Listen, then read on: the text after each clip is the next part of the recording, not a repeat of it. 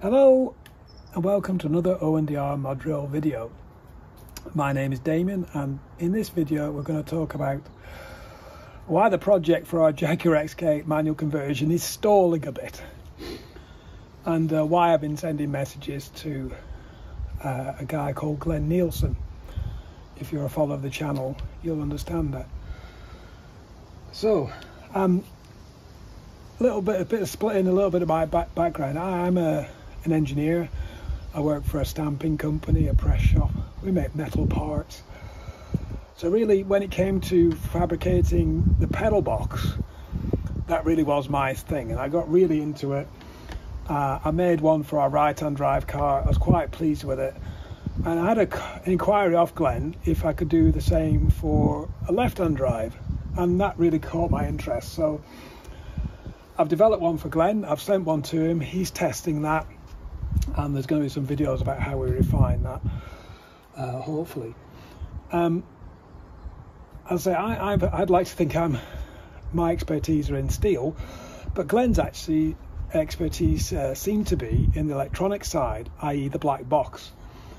And my black box is just a pile of wires, and I doubt whether it will actually work and to get some help in that respect is quite interesting. And it's a it's another element of this manual conversion that um, is the big unknown the electronics the CAN bus side. So getting some help from Glenn. Glenn's developing his own what he's calling the MCM manual control module for his car. His car is the 4.2 2003 model so the CAN bus obviously uh, signals are different but he seems to be or is offering to be uh, to develop something for my car, the 1996, the early one. So that's why I've been sending message to Glenn, and I've been developing the left-hand set of brackets for him. So that's that's why I've I've stalled a bit. There has been some personal issues as well, but I'd rather not go into that. So what actually Glenn uh, has sent me is this uh, CAN bus monitor. Uh, it plugs into OBD2 and it reads the signals from the gearbox and uh, I'm gonna I need to get my car on the road and get some data from the gearbox in order for to give some data to Glenn to mimic it. So there comes a problem. So at the moment my car is in bits. The exhaust is off. The coolant has been uh, uh, the header tank's been taken off. Obviously all the wipers the pedal box is still out. So I'm I'm a bit stuffed really because I've got really I've got to put it all back, get the car running again. So I'm thinking to myself, I don't really want to go back to square one. So I'm actually thinking about fitting my uh, clutch pedal modified pedal box in, but only using the brake. Um, so this is what I, this is what I've done here. So I'll try and explain this. This then is my original three bolt uh, pedal box and you can see the pedal comes off at an angle and it joins the brake pad at an angle here. Now I've this is my adjusted one.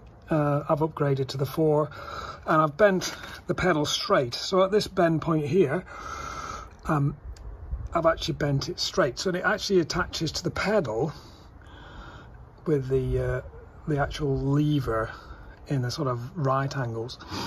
So what I'm planning to do is actually I've attached an old brake pedal pad.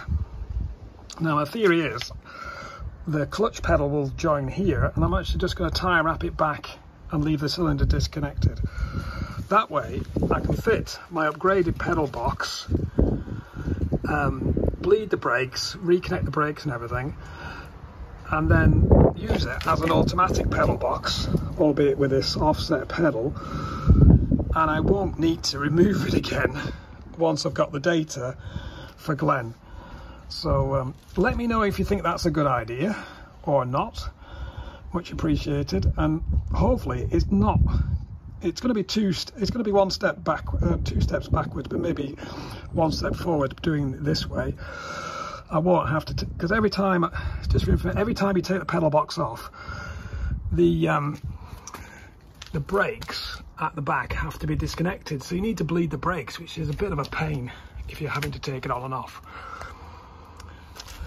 So the idea here is that, albeit I'm going to have to put everything back together to get Glenn his data through this data logger, uh, but the pedal box will be actually in situ, fully working, just the fact that I have this pad on. So when I do eventually go fully uh, manual, I'll just have to remove this plate, untie wrap the clutch, fit the master cylinder, and away I go. I don't have to take the whole thing out again. That's the idea anyway. So there you go. That's a bit of an, an update where we are the project. Hopefully you understand why we've stalled a little bit and why it's actually maybe a little bit more interesting to get the overall package done together with the pedal box and the electronics thanks to Glenn. Anyway, thanks for watching. Please like, comment and subscribe if you'd like to see more about this project and anything XK related. Anyway, thanks very much. Bye bye.